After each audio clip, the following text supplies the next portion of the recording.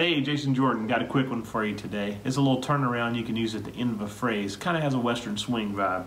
Um, I'll do it in the key of A.